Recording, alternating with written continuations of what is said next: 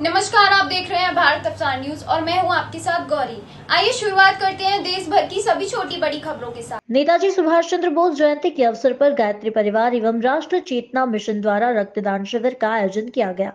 छाछठ लोगों ने इसमें रक्तदान किया। देश के महान क्रांतिकारी नेताजी सुभाष चंद्र बोस की 126वीं जयंती के अवसर पर सामाजिक संस्था, राष्ट्र चेतना मिशन एवं गायत्री परिवार के संयुक्त तत्वाधान में स्वैच्छिक रक्तदान शिविर का आयोजन किया गया, जिसमें आधा दर्जन पुलिसकर्मी व महिलाओं सहित कुल छाछठ लोगों ने जरूरतमंद मरीजों के जीवन की रक्षार्थ हेतु सहर्ष रक्तदान किया।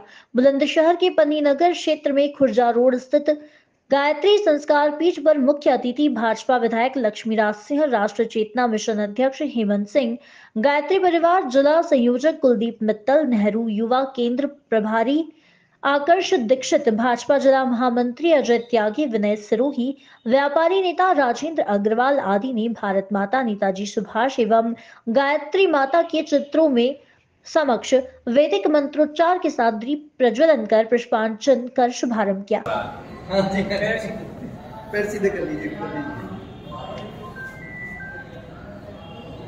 गोपाल जी का ब्लड ग्रुप क्या है आपका?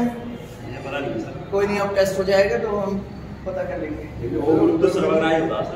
सबसे पहले कोतवाली नगर की खुर्जा गेट पुलिस चौकी प्रभारी सब इंस्पेक्टर अंकित चौहान के रक्तदान के साथ ही विभिन्न स्थानों में पधारे गणमान्य लोगों का रक्तदान प्रारंभ हुआ। आयोजकों द्वारा सभी रक्तदाताओं को उपहार एवं सम्मान पत्र भेंट कर जीवन रक्षा हेतु योगदान के लिए आभार व्यक्त किया गया। नियमित रक्त सेवा के क्षेत्र में निरंतर सक्रिय समाज सेवी संस्था राष्ट्र चेतना मिशन के अध्यक्ष हेमंत सिंह ने रक्तदान की आवश्यकता, महत्व और उपयोगिता पर प्रकाश डालते हुए सभी से जरूरतमंद मरीजों की जान बचाने के लिए निसंकोच रक्तदान हेतु तत्पर रहने का आह्वान किया।